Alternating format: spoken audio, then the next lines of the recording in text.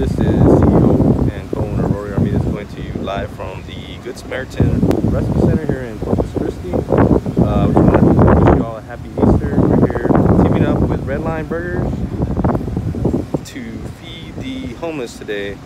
Um, I will post pictures and videos later on Facebook.